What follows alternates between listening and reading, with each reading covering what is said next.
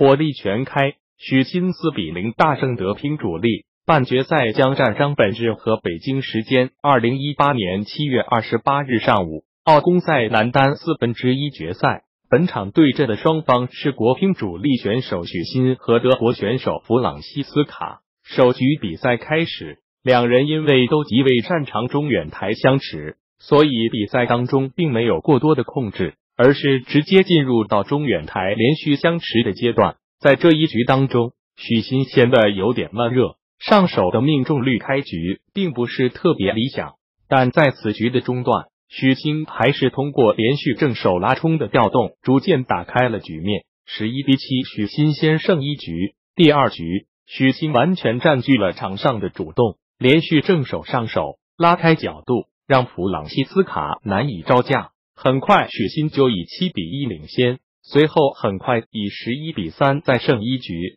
第三局的比赛。许昕在上手中更加入了节奏的变化控制。虽然弗朗西斯卡人高马大，也具备很强的周旋能力，但在许昕极具穿透力的进攻下，还是难以招架。很快，许昕就又四比一领先。随后，弗朗西斯卡盯住许昕的正手位空档，连续拧拉得分，逐渐将比分差距缩小，但还是无可避免的被许昕以十比七拿到局点。随后，许昕以一记超强穿越，十一比九锁定此局胜利。第四局，虽然弗朗西斯卡紧紧抓住许昕正手位空档弹击得分，一度以七比四领先，但许昕通过针对对手的反手节奏，一步一步将比分追了上来，又通过一记超强反拉，最终以十一比九锁定胜局，以大比分四比零战胜对手，顺利挺进半决赛。他在半决赛当中的对手将是日乒选手张本智和。